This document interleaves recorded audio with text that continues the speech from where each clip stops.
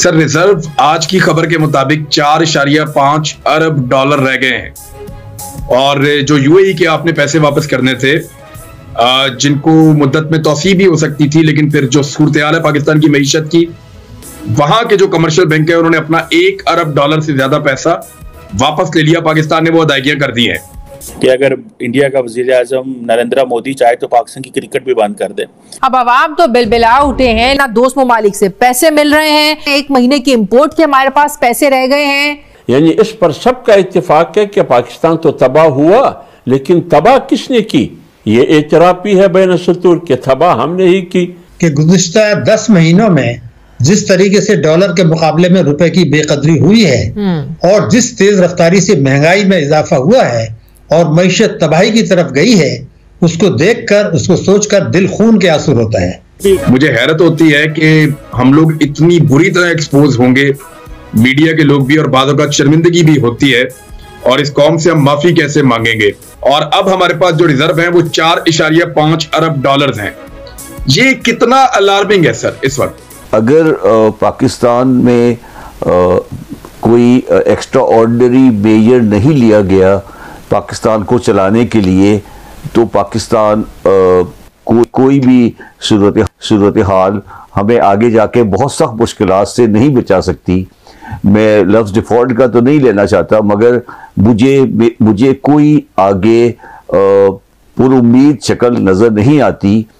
पुरुद शक्ल सिर्फ़ उस वक्त आएगी जब हम अपना घर खुद सही करेंगे। इंडिया की जो सरकार है उसने ये फैसला कर लिया हुआ है कि हमने पाकिस्तान जाना नहीं है पाकिस्तान से हालात बेहतर नहीं करने because at the end of the day that suits prime minister Modi और उनकी टीम को सूट करता है। कि जी आप पाकिस्तान को ज़रा टफ टाइम दे के रखें हमें कौन सी पाकिस्तान की ज़रूरत है हमारी कौन सी इकोनॉमी अटैच है? देखें ये सारी चीज़ें जो है ना आज के दौर की इकोनॉमी से अटैच है। लेकिन हमारा ये फ़र्ज़ बनता है कि हम हकीकत को पहले वजूहत तलाश करें। हम्म। इसकी सबसे अहम तरीन वजह यह है कि पाकिस्तान में माजी की हुकूमतें हों फौजी हुकूमत हो एक पार्टी की हो दूसरी पार्टी की हो तहरीक इंसाफ की हो सूबाई हुकूमत हो सबकी एक ही पॉलिसी है। आप दुनिया के बेहतरीन दिमाग ले आए। मैं आपको गारंटी कर रहा हूँ कि पाकिस्तान की मीशत ठीक नहीं होगी। नमस्कार दोस्तों स्वागत है आप लोग का आई एन न्यूज़ की और नए वीडियो में। दोस्तों जहाँ एक तरफ़ पाकिस्तान इस बात पर रो रहा है कि जो इंडिया है, वो इंडिया के जो पीएम है, वो जब चाहे हमारे क्रिकेट को तबाह कर सकते हैं, हमारे देश को तबाह कर सकते हैं। वही दूसरी तरफ़ जो भारत का दोस्त यूएई है, जो अब पाकिस्तान का दोस्त नहीं रहा, वो जो है, वो पाकिस्तान पर बड़े बड़े जो है, वो झटके पाकिस्तान को दे रहा है। दोस्तों, इससे पाकिस्तान बहुत ज़्यादा परेशान आने वाले दिनों में भी हो सकता है, क्योंकि जिस तरीके से अभी यूएई ने साफ़ तरीके से बता दिया है कि आज जो है वो पाकिस्तान का फ्रेंड नहीं है। दूसरी तरफ़, जो बीसीसीआई की तरफ़ से पाकिस्तान का ये कहना है कि बीसीसीआई जो है, वो हमें नहीं चाहती कि हमारी जो पीसीबी है, वो आगे बढ़े, हम पैसा कमाएँ। और इसीलिए पाकिस्तान का ये कहना है कि भारत का जो पीएम है, वो जब चाहे हमारी क्रिकेट तबाह कर सकता है, हमारे देश को तबाह कर सकता है। और दोस्तों, ये बात सही भी है, क्योंकि खुद रमीश राजा जब पी पीसीबी के चेयरमैन थे, तब उन्होंने ये बात मानी थी कि जो पीसीबी का रेवेन्यू है, उसमें 80 परसेंट रेवेन्यू जो है, वो बीसीसीआई की तरफ़ से आता है। यानी कि 80 परसेंट जो पैसे हैं, वो भारत से पीसीबी कमाती है।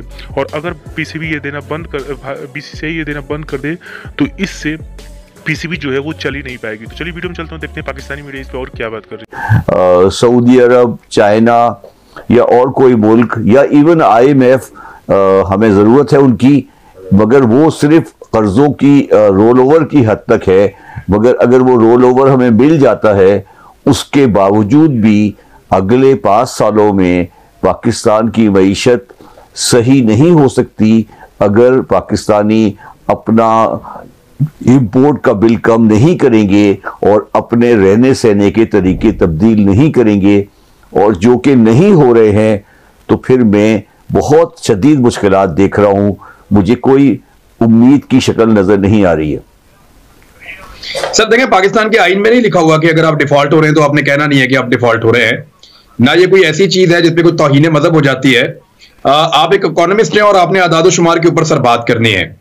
और हमें ओपनली कॉम को बताना भी चाहिए सिचुएशन क्या है, क्या हम डिफ़ॉल्ट कर चुके हैं? टेक्निकली बहुत सारे लोग ये भी कहते हैं, बहुत सारे लोग कहते हैं कि अब बहुत करीब पहुँच गए हैं, सिर्फ़ हुकूमत ने होल्ड करके रखा हुआ है और वो अनाउंस नहीं कर रही। और आप इंपोर्ट्स के पैसे नहीं दे सकते। आपके वज़ीर खजाना कह रहे हैं कि ब्लैकआउट वज़ीर खजाना नहीं सॉरी वज़ीर दिफा कह रहे हैं कि ब्लैकआउट हो सकता है पाकिस्तान में, खुदा ना खास्ता। एक्चुअल सिचुएशन क्या है? शब्बर जैदी साहब, आपने सिस्टम के अंदर भी काम किया और सिस्टम के बाहर भी आप जानते हैं। सो आप क्या देख रहे हैं?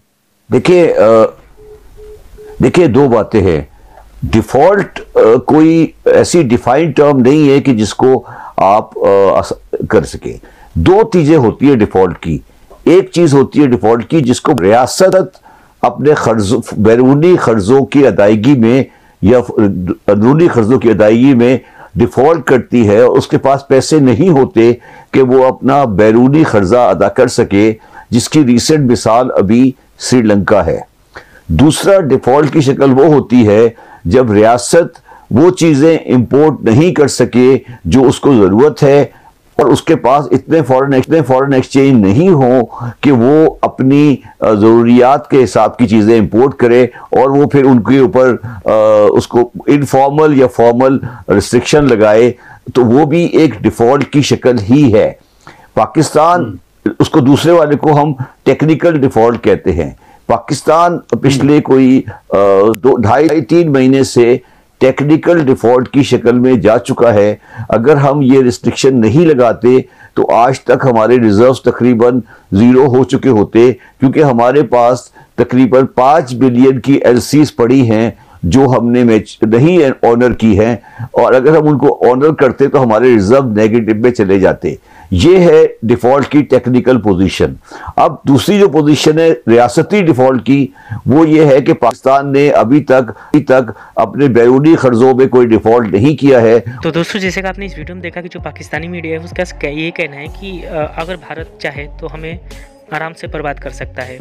और ये बात जो है वो नई बात नहीं है। पाकिस्तान इस बात को पहले भी मान चुका है और इसीलिए पाकिस्तान में लगातार इस बात पे डिबेट होता रहता है आखिरकार हम भारत के साथ अपने रिलेशन जो है वो अच्छा क्यों नहीं करते?